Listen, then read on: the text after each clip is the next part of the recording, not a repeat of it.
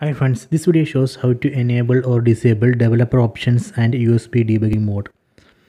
First select settings, go to settings, then select device preferences, then select about, then go down and select build.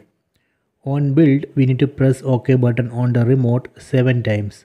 1, 2, 3, 4, 5, 6, 7. You are now a developer. Go back. Go back to device preferences. Then go down. So here we can see developer options. Select it.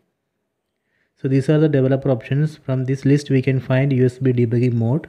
See here. Let me enable it. Press OK button on the remote done so if you want to disable usb debugging mode again just select it and disable. If you want to disable developer options we can disable that here. And then let me go back.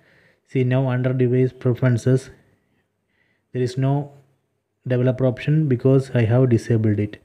So this way we can enable or disable developer options and usb debugging mode